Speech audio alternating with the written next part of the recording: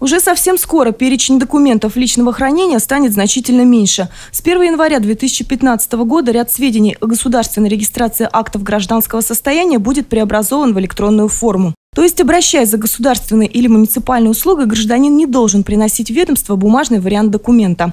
Получить его госслужащие смогут со следующего года путем межведомственного электронного обмена. Из перечня документов личного хранения планируют исключить свидетельство о рождении ребенка, о заключении и расторжении брака, смерти, установлении отцовства и смены имени. Тестирование электронных сервисов в Ивановской области намечено на ноябрь. Отметим, что новшество коснется всех регионов страны, за исключением недавно присоединенных присоединенного Крыма. Ивановская область включена во вторую очередь тестирования региональных сервисов ЗАГС. В результате э, сдачи в эксплуатацию этих сервисов э, федеральные органы власти при оказании государственных услуг будут получать информацию, хранящуюся в базе данных ЗАГСа в Ивановской области в автоматическом режиме.